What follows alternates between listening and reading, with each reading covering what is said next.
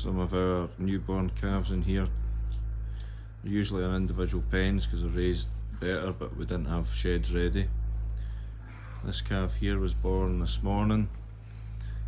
Took a bit too long to calve, and as you can see, its head's tilting.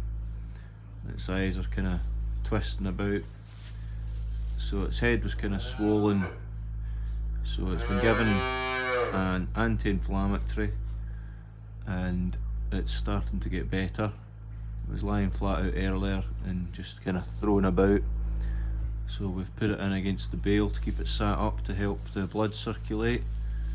So hopefully soon this calf will be on its feet and uh, doing the same as the rest here. This is a Belgian blue that was born the other day, look at the size of that. Solid wee bugger.